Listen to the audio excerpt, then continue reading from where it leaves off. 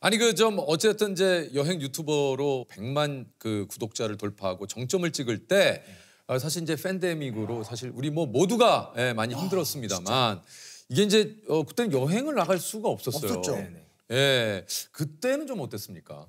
저는 저는 사실 여행 유튜버는 끝났다고 생각을 하고 이제 저는 약간 영화 쪽이나 드라마 스텝으로 일을 해보고 싶어서 포트폴리오를 준비하려고 조조소라는 드라마를 좀 그래요. 시도를 했는데 그게 또 또 예. 잘 됐죠. 어, 우리 춘범 씨는 취미가 노래라고 돼 있네. 그러면 우리 노래를 한번 들어볼 수 있을까요? 예, 여기서요. 드라마나 막 영화 같은 데 보면은 설거지 하잖아요, 신입이. 저희 가서 청소해야 돼. 개처럼 몰아서 정승같이 시작! 맞아. 나돈 아끼려고 무한 리필 온 거 아니다. 어, 여기 진짜 맛있어서 온 거야. 아침 체조하는 거 쪽팔렸고 아니 아침 체조가 뭐 어때서 왜? 오늘 처음 알았어요. 그거를 빠니보틀이 기획한 거라고 생각을 못했어요. 그냥 이거 보면서 야 어떻게 이렇게 재미난 드라마를 만들었을까 했는데 만드신 거예요? 네, 제가 이제 뭐 각본도 쓰고 연출도 했는데 그 각본도 제가 물론 쓰긴 했지만 뭐 곽튜브 아직도 기억나. 곽튜브 집 살 때 그냥 곽튜브가 누워가지고 자기 옛날에 뭐 중소기업 다닐 때 이런 일이 있었다 이렇게 얘기하면은 어, 어 그래 그러면서 그러면 곽준비는 그냥 조충범으로 바꿔가지고 조충범이 뭐 어디를 가서 뭘 한다 이렇게 쳤는데 반응이 그것도 좋은 게 더 너무 신기한 거예요. 실제로 그 다니던 회사에서 그렇게 하셨다면서요? 그러니까 이게 지분이 정확히 얘기해야 되는 게 어, 어, 과장님의 얘기가 한 40%, 어. 곽준빈의 얘기가 한 50%, 50%. 제 얘기는 10% 정도밖에 안 되는데 어, 체조가 그 중에 하나였습니다. 단체 체조. 네, 9시 넘어가지고 직원들 이렇게 출근했다 싶으면은 오자마자 이거 한번 틀어주세요. 예. 이게 이제 국민 체조 아시잖아요. 예. 국민 체조인데 그 원래 이게 FM으로 해야 되는데 여기서 사용을 안 되시면 뭐요? 제가 약간 그게 그러니까 현장직이 아니고 사무직인데 아침마다 체조를 하길래 아 이제 몸 풀어. 어떤 체조를 했어요, 아빠니? 그게 국민 체조가 아니고 또 그 회사의 체조가 따로 있어요. 아, 어, 정말 살체조 오늘 살체조. 회사별로 하는 제가 그것도 하면서 표정이 안 좋았나 봐요. 근데 그 표정을 또 그 회사는 부장님인가? 그분이 다 확인을 해요. 얘가 제대로 하나 안 하나.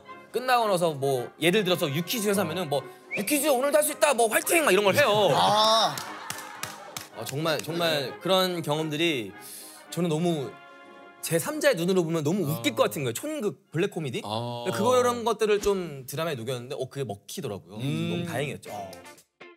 마음 가는 대로 한번 해볼 생각입니다.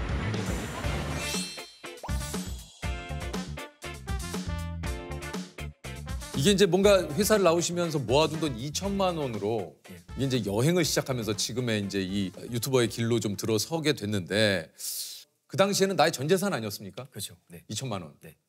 이걸로 그냥 여행을 하자. 네. 이 결정하는 게 또 쉽지는 않았을 것 같은데요. 그런 어떻게 보면 좀 무모하잖아요. 그쵸. 그때 당시 제 나이가 33살이었고 어. 친구들은 뭐 이제 뭐 대리를 달고 그렇죠. 연봉이 뭐뭐 그렇지. 4천을 가니 뭐 3천을 맞아요, 가니 뭐, 뭐. 이런 얘기를 하고 있는 와중에 저는 뭐 집도 없고 차도 없고 음. 돈 2천만 원 외에 아무것도 가진 것도 없고 심지어 스펙도 없고 음. 근데 그래서 오히려 뭔가 시도하는 게 굉장히 마음이 편했습니다. 왜냐면은 음. 아. 잃을 게 없는 거죠. 네. 어차피 이거 내가 실패한다고 해봐야 상황이 달라질 것도 없고 너무 그냥 백지다 보니까 어 이참에 한번 해보자. 아무런 뭔가 부담도 없었고 제 다른 친구들한테 제가 유튜브를 하자고 권유를 많이 했어요. 친구들 중에서 막 끼도 있고 말도 굉장히 잘하고 외모도 준수한 친구가 몇 명 있어가지고 그런 친구들한테 제가 편집을 다 할 테니까 너는 그냥 출연만 해라. 내가 다 뒷바라지를 하겠다라고 했는데 그 친구들은 무서운 거예요. 지금 이, 그렇죠. 이 상황을 다 버리고 그렇지. 유튜브를 한다는 그게 뭔가 두렵고 쉽지가 않죠. 안 됐을 때 뭔가 그런 것들을 상상을 많이 하더라고요. 그래서 결국은 제가 했는데 지금 너무 잘 돼서 아 오히려 가진 게 아무것도 없을 때가 기회일 수도 있겠다라는 생각을 굉장히 지금도 많이 하고 있고 뭐 실패 같은 거 너무 이게 좀 한국 사회가 경직돼 있잖아요. 그런 거 있어서 약간 실패한 사람들 막 조롱하고 놀리고 그런 게 있는데 그래요. 너무 신경 쓰지 말고 아, 그럼요. 하고 싶은 거 다 해봐야지 후회가 없다라는 얘기를 좀 많이 해주고 있습니다. 그 네. 도전하고 실패를 했을 때는 야 그 도전 참 멋졌다 고생했다 해주면 되는데 봐 봐 봐. 거 봐라, 거 봐. 그 회사 안 다니고 가더니 봐라. 되겠니? 네가 야, 무슨 유튜브 밥은 먹고 다니냐? 그래서 지금 저도 네. 이제 시작을 했어요 개인 채널을. 네네네. 주변에서 봐봐 조회수 봐봐 지금. 어 이거 뭐야? 이거 약간 비 약간 비우는 거야. 아니 근데 아니 형님은 잠깐만. 형님은 성공하신 분이잖아요. 그렇게 저같이 비웃는 사람들을 형님이 성공해가지고 한번 매기는 거죠. 그렇지. 아, 내가 이 정도다. 너 비웃었지 아, 이러면서. 근데 해봤는데 쉽지 않을 것 같아. 결국은 우리가 계속 사회는 서로 매기는 거예요. 저는 아까 실패하면 가봐라 그러면 성공해서 야 이. 예? 빤의 어떤 이런 결단력, 어떤 그리고 자신감 이거 뭐 부럽지 않습니까? 근데 예? 사실은 이거 보시면서 네. 오케이 나도 이제 내일부터 떠난다. 이거 사실 무모한 거거든요. 사실은 맞죠? 그렇게 생각을 하시고 진짜 떠난 사람은 진짜 아무리 말려도 하더라고요. 전 그래서 요즘에 뭐 옛날에는 어 제가 뭐 회사를 다니고 있는데 너무 힘들어서 그만두고 뭐 여행 유튜버나 하고 뭔가 싶어요. 뭐 할까 말까 고민을 하고 있는데 어떻게 할까요? 저한테 물어보면 저는 한번 해보시라고 얘기를 하다가 요즘엔 반대로 하지 말라고 그래요. 왜요? 왜냐면 진짜 할 사람은 제가 말려도 할 사람이에요. 그런 분들이 해야 성공하더라고요. 모두가 말리는데 아니 난 그래도 할 건데 이러는 분들은 정말 하는 거더라고요. 아니 그 어, 우리 빠니보틀의 여행 영상은 보통 이제 세 줄 요약 네. 이런 거 좀 많이 하지 않습니까? 그 지금까지 내 인생을 좀 세 줄로 요, 요약을 해보자면 어.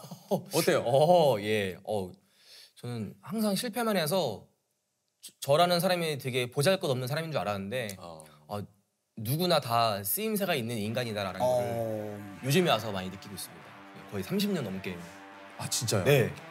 뭘 해도 다 안 되니까 와 진짜 나라는 사람은 진짜 그냥 뭐 아무 쓰잘데기 없고 그냥 뭐 조금 자기 심했어가지고 뭐 이제 아 나는 진짜 쓰레기구나 그냥 뭐 이렇게 살다가 그냥 소리 없이 가겠다 이런 생각 진짜 많이 했는데 이것저것 하다가 유튜버가 되고 쭉 성공을 하면서 느낀 거는 그런 모든 것들이 마치 원기옥처럼 모여서 지금의 저라는 사람을 형성을 하더라고요. 그래서 저는 계속 옛날에는 그래도 조금 무서웠는데 도전하는 것들이 지금은 더 부담 없이 이것저것 다 해보려고 하고 있습니다.